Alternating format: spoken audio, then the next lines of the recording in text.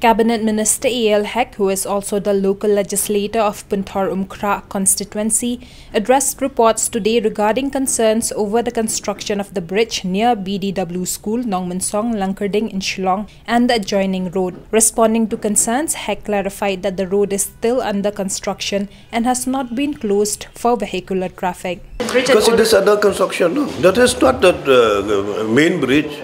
It is not the main bridge. Okay. Mm. Who said the main bridge? Oh, wow. This is the culverts only construction. Hmm.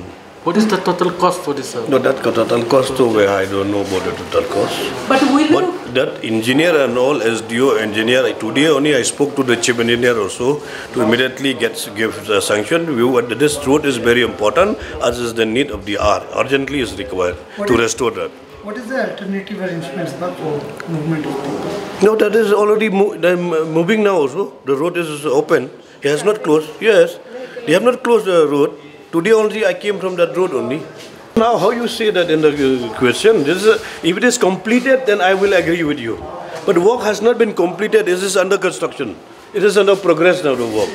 Let me first complete it, then only if there's any problem with the construction, we will take action against any contractor who is working. But now when the work is going on, how we can just blame anybody? That the work is in the progress now.